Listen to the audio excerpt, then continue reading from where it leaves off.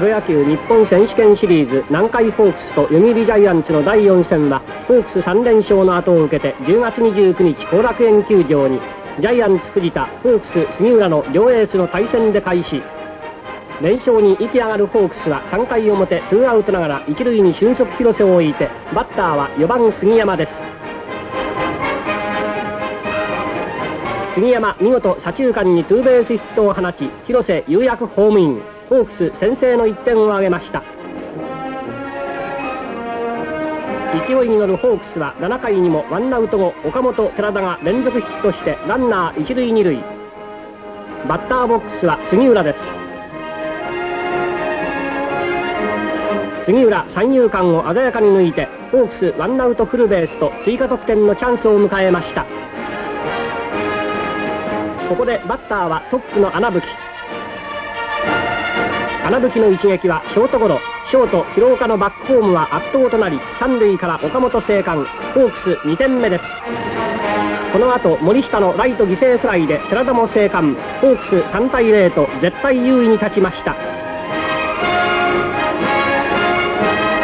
一方ジャイアンツは杉浦の好投の前に打線が3発の5安打とすっかり沈黙。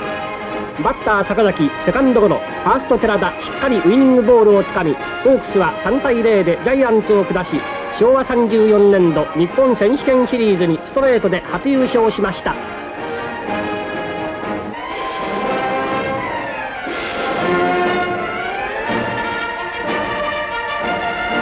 試合終了後直ちに表彰式に移り優勝した南海ホークスの鶴岡監督にハエの優勝ペナントが渡されました。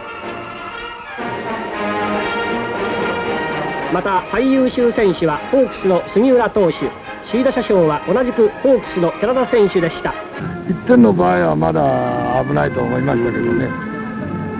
3点取った時には僕はもう勝てるような気がしましたね。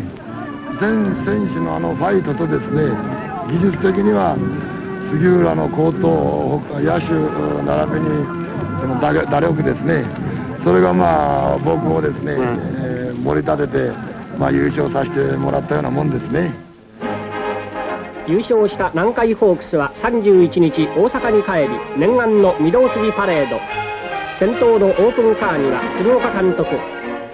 2代目には優勝の立役者杉浦投手が野村選手と一緒に中澤会長を囲んで乗り込んでいます。美しく飾られた11台のオープンカーは花吹雪の中をイチョウ並木の御堂筋を走ります。よくやったありがとう。ファンの声を聞きながら鶴岡監督もさすがに嬉しそう。